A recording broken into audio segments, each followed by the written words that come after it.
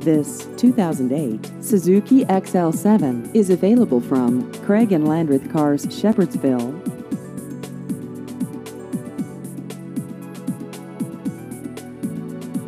This vehicle has just over 68,000 miles.